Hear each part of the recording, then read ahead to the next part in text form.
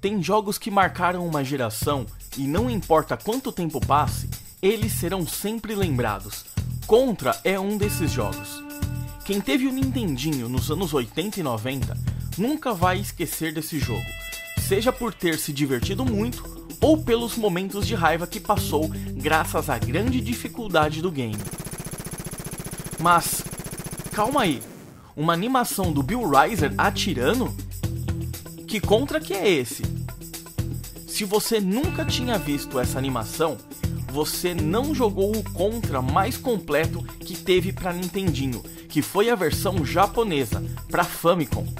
Mas não se preocupe, eu vou te mostrar alguns detalhes. Warp Zone apresenta detalhes de Contra que você não viu.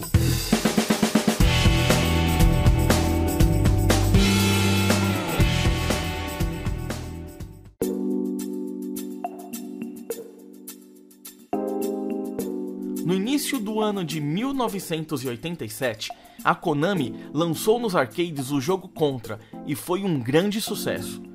Tanto que cerca de um ano depois, a empresa havia licenciado o desenvolvimento de versões para computadores e já estava produzindo sua própria versão para console. Sendo assim, em fevereiro de 1988, o Nintendinho ganhava uma versão de Contra. O jogo saiu primeiro para NES na América e dias depois para o Famicom lá no Japão.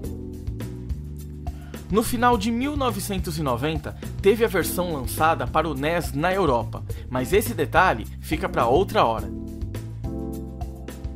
Se comparado com a versão de arcade, o Contra de Nintendinho tinha lá suas limitações, com modificações gráficas que foram necessárias para que o jogo se encaixasse bem na capacidade do console.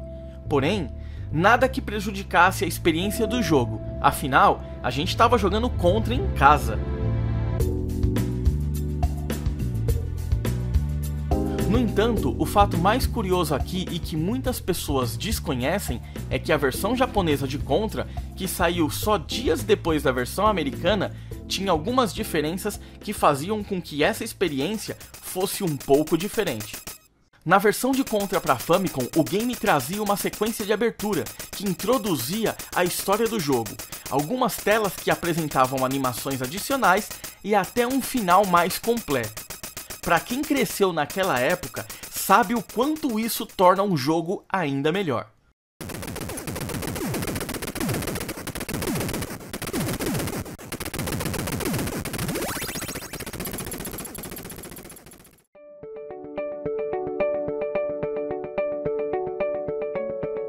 Muitos jogos que receberam uma versão ocidental possuem mudanças devido à cultura e à regionalização. Algumas vezes temos também a censura, principalmente quando se fala de religião e política. Porém, em contra, o principal fator que levou a termos tantas diferenças entre a versão americana e a japonesa foi a capacidade do cartucho. A versão japonesa do jogo contava com um chip especial fabricado pela própria Konami, que estendia a capacidade do console. Esse chip se chama VRC2 e, em linhas gerais, fazia com que a capacidade de armazenamento do jogo fosse quase que dobrada. Então, imagine só, os japoneses tendo em mãos um jogo e o dobro de espaço do original para poder incrementar com que fosse possível só podia sair coisa boa. Porém, isso era um custo adicional, e por conta disso, nenhuma outra versão de Contra para Nintendinho, ou seja, a americana e a europeia, recebeu esse chip.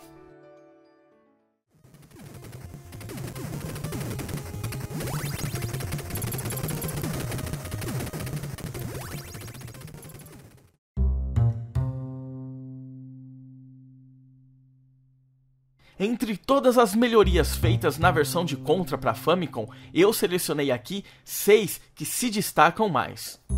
A primeira mudança é a mais notável, é a sequência de abertura.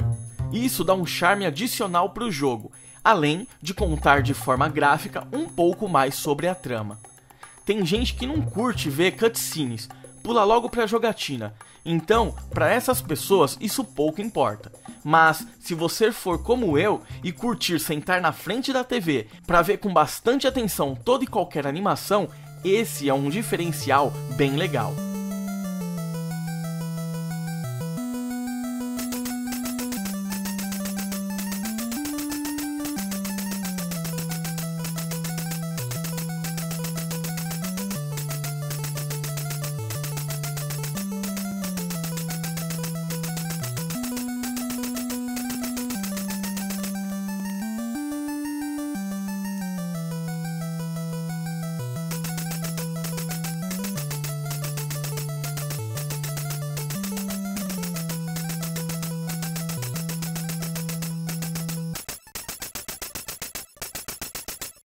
A segunda mudança aqui fica por conta do mapa do jogo, sendo apresentado antes de começar uma tela.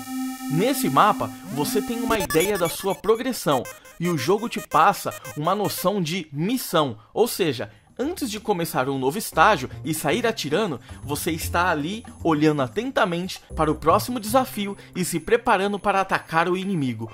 Uma adição e tanto. Falando em tela, a terceira mudança aparece quando a gente passa de uma tela para outra. É a apresentação de uma animação do personagem comunicando via rádio o que realizou na missão e o que está prestes a fazer. Veja, a animação mostra o dedo do personagem acionando o rádio e a antena tem uma animação que mostra ela subindo enquanto o personagem fala com o seu grupo. Isso é lindo demais.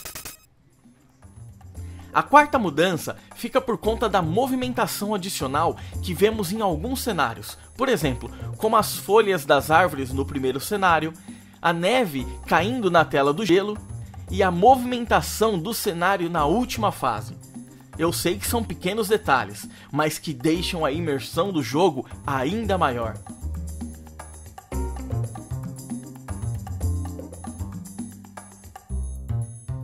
Atenção, os pontos 5 e 6 apresentam spoilers, então se você não quer ver detalhes sobre o final do jogo, pare o vídeo agora mesmo.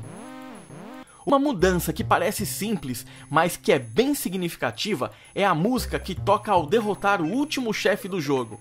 Na versão americana, a música é a padrão que escutamos nas telas anteriores, e não dá aquela sensação de que derrotamos um último chefe.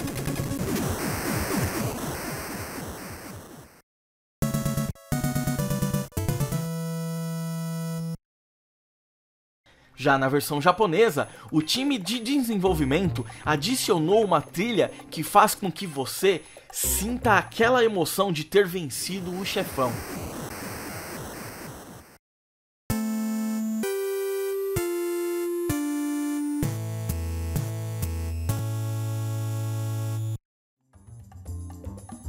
Por fim, fica o ponto que para mim é um dos mais recompensadores.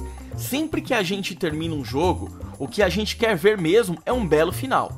Não há nada mais frustrante do que passar horas jogando um game, vencendo todos os seus desafios e chegar no final e ver apenas aquela frase: Congratulations. Na versão americana de Contra, a gente já tinha uma experiência bem legal, que é uma mensagem dizendo que você era um verdadeiro herói e uma cena de você saindo da ilha sendo destruída e depois os créditos com uma bela música.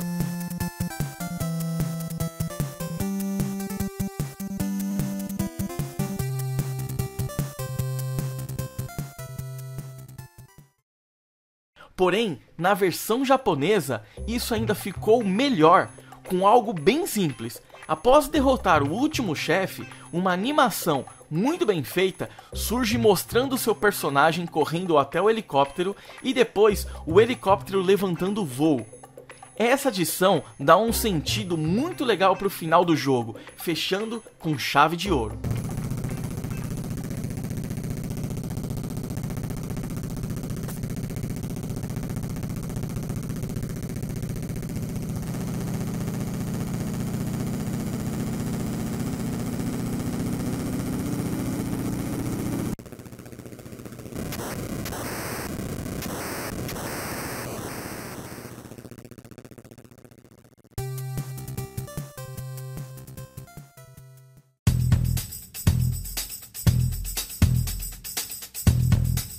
Com isso, a gente percebe o que um chip adicional pode fazer com um jogo que já é muito bom. E tem mais, poderíamos falar aqui das diferenças entre a versão americana e a europeia. Não por conta de um chip adicional, mas sim por muita regionalização e censura. Porém, esse é um assunto que vai ficar para a próxima.